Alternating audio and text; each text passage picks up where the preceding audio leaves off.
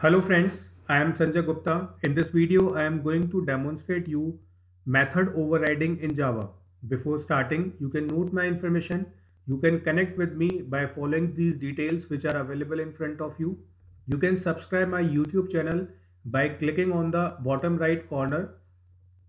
If you want to download my app, you can uh, use name TechMS which is available on Google Play. Now coming on to the topic. First, I am going to demonstrate you, sorry, first I am going to explain you the concept of method overriding and then I will be demonstrating an example. So uh, first point says in a class hierarchy, when a method in a subclass has the same name and type signature as a method in its superclass, then the method in the subclass is said to override the method in the superclass.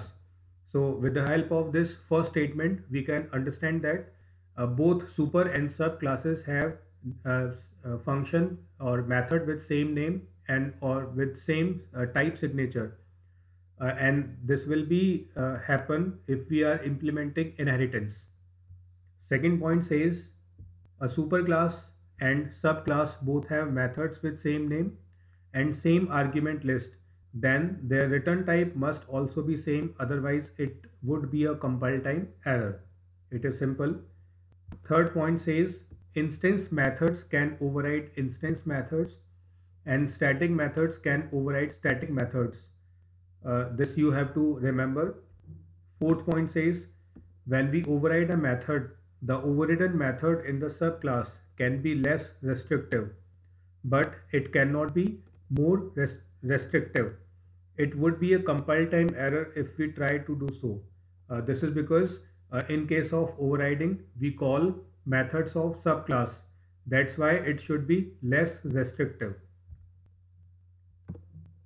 Next point says method uh, methods are inherited but constructor of class are never inherited. So we cannot inherit constructors. We can only inherit methods. Next point says a superclass reference variable can refer to the object of the subclass but reverse is not allowed. Uh, it means superclass reference can refer to the subclass object but subclass reference cannot refer to the superclass object. Last point says we cannot override field or instance variable of the class. This is simple. Now I am going to demonstrate an example so that you can understand the concept of concept of overriding or you can say method overriding. Uh, you can see first class whose name is shape. Inside shape class I have implemented first method name uh, which is printing shape. Second method is area which is uh, printing shape area with the help of system.out.println. This is implementation of shape class. Then I am implementing shape class into square class. Uh, this is inheritance then it has uh, square class contains a variable length uh, it is private its value is 5 then it also contains name method which is displaying square with the help of system.out.println and it is uh, implementing area which is calculating area by multiplying length into length. Uh, you can uh, see that uh, I have implemented name and area in shape class as well as these two methods are implemented in square class and square class is inheriting shape class. So name and area which are implemented in square class will be considered as overridden methods. Now third class is rectangle which is also inheriting shape class. It contains two attributes length and width. Then again uh, it is overriding name method. It is displaying rectangle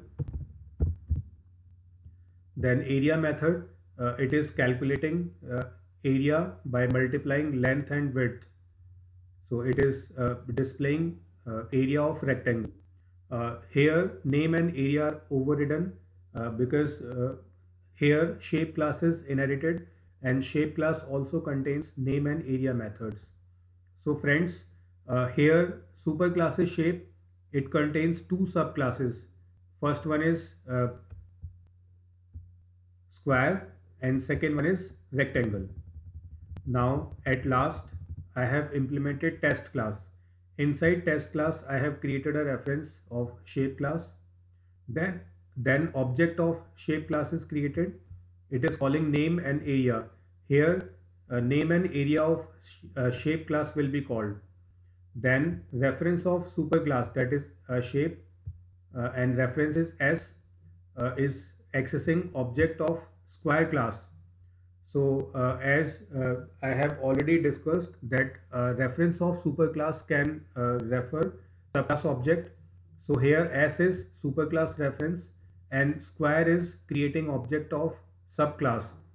So it is valid statement. Now S dot name and S dot area will call name and area of square class uh, because of uh, method overriding. here reference is of superclass but methods that we are calling belongs to subclass uh, that will be uh, overridden and uh, methods of subclass will be executed here. Similarly, uh, in last three statements, S which belongs to shape class is referring to rectangle class object. This is also correct and here name and area of uh, rectangle class will be called uh, they will override methods of shape class here. Now I am going to execute this program so that you can see the output. You can see shape and shape area is printed. Shape is name and shape area uh, because of area uh, method which is defined in shape class. Then square and area is 25. Uh, these two statements is displayed with the help of uh, square methods and last two statements are displayed with the help of uh, name and area methods which are defined in rectangle class.